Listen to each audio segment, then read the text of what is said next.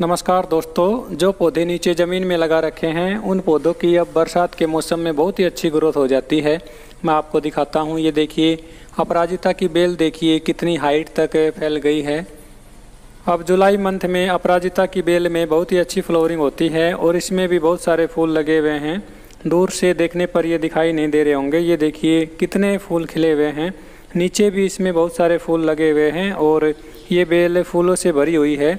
और ये मोगरा की बेल के साथ में लगी हुई है, देखिए दोस्तों। अब बरसात के सीज़न में मैंने अपने गार्डन में कुछ नए पौधे ऐड किए हैं। मैं आपको ये पौधे दिखाता हूँ और मैं आपको बताऊँगा कि मैंने कौन कौन से पौधे परचेज़ किए हैं। तो चलिए दोस्तों, वीडियो शुरू करते हैं और वन बाय वन मैं इन सभी का नाम भी बताऊँगा और मैंने ये पौधे कितने रुपये में ख़रीदे हैं, ये भी मैं आपको बताऊँगा। अब बरसात के सीज़न में हम जो भी पौधे लगाते हैं, वो सारे ग्रो हो जाते हैं। और यदि आपके पास पौधों की कमी है और अपने गार्डन में पौधों को ऐड करना चाहते हैं तो आप इस बरसात के सीज़न में इन पौधों को ऐड कीजिए। ये देखिए दोस्तों, ये मैंने दो थुजा के प्लांट लिए हैं, जिसको हम मोरपंखी के नाम से भी जानते हैं। ये प्लांट मुझे तीस तीस रुपये में मिले हैं। मोरपंखी के इन प्लांट्स की हाइट चार से पाँच फीट तक बढ़ जाती है और आप इनकी कटिंग करके इनको राउंड शेप में बना सकते हैं। ये दो प्लांट मैं मुरैया के लेके आया हूँ, जिसको हम मधुकामनी के नाम से भी जानते हैं। और ये दो छोटे छोटे प्लांट्स हैं। इनको मैं पंद्रह रुपये के हिसाब से लेके आया हूँ। पंद्रह रुपये का एक पौधा मुझे मिला है। जब इनके बड़े पौधे होते हैं तो वो पौधे ढाई सौ से तीन सौ रुपये में मिलते हैं। मोगरा के पौधे की तरह इसके भी फूल सफ़ेद रंग के होते हैं, जो खुशबूदार होते हैं और ये प्लांट से परमानेंट प्लांट होते हैं। खुशबूदार फूलों के पौधे भी होते हैं और कई बेल भी होती हैं जिनमें बहुत ही खुशबूदार फूल खिलते हैं। और ये देखिए, मैं ये रात की रानी का पौधा लेके आया हूँ और ये पौधा मुझे बीस रुपये में मिला है। इसमें रात के समय में बहुत ही सुंदर फूल खिलते हैं। और बरसात के सीज़न में फ्लोरिंग के लिए ये मैं रेन लिली के पौधे लेके आया हूँ और दो ये अलग अलग कलर के फूलों वाली वैरायटी है। ये मुझे बीस बीस रुपये में मिली हैं। रेन लिली के पौधों को इनके बल्ब से ग्रो किया जाता है और इनको आप डिवाइड करके अलग अलग पौधे बना सकते हैं और ये परमानेंट प्लांट्स होते हैं। ये देखिए दोस्तों, ये मधुमालती की बेल है। इस बेल को मैं बीस रुपये में लेके आया हूँ।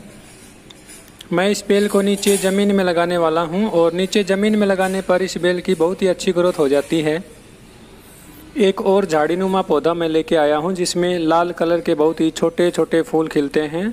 इसको हम हमेलिया के नाम से भी जानते हैं। इसको फायर बुश के नाम से भी जाना जाता है और इसका एक झाड़ीनुमा पौधा बन जाता है जिसमें बहुत ही अच्छी फ्लोरिंग होती है। जिस प्रकार येलो बेल का प्लांट होता है, उसी प्रकार ये पौधा देखिए, इसको हम ब्लू बेल के नाम से जानते हैं, क्योंकि इसमें ब्लू कलर के बेल की साइज़ के छोटे छोटे फूल खिलते हैं, और ये पौधा भी बहुत ही सुंदर दिखाई देता है, और इसकी एक बेल होती है, ये पौधा बेल की तरह बढ़ता है।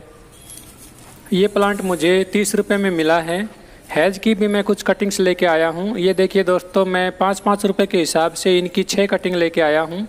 वैसे हैज़ की कटिंग अब बरसात के सीज़न में हम लगा सकते हैं, मगर इनमें अब रूटिंग शुरू हो चुकी है। अब मैं इनको लगाता हूँ तो ये सारी ग्रो हो जाएँगी। ये जो आप पौधा देख रहे हैं, इसका नाम है ऑरेंज टिकोमा वाइन और ये एक बेल होती है जो गेट के इंट्रेंस पर लगाई जाती है और इसमें ऑरेंज कलर के बहुत ही सुंदर फूल खिलते हैं। ऑरेंज टिकोमा वाइन का ये पौधा मुझे अस्सी रुपये में मिला है। मैंने ये जो भी प्लांट्स खरीदे हैं, ये सारे परमानेंट प्लांट्स हैं। आप इस समय इन सभी की कटिंग लगा सकते हैं और इनको ग्रो कर सकते हैं।